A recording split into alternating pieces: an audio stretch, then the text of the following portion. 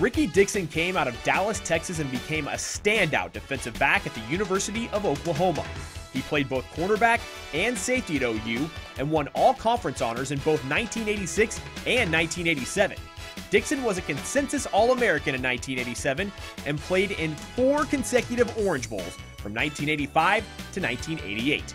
In 1985, Dixon was a key figure in OU's national championship.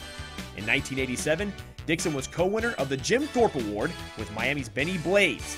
He finished his college career with 170 tackles and 17 interceptions.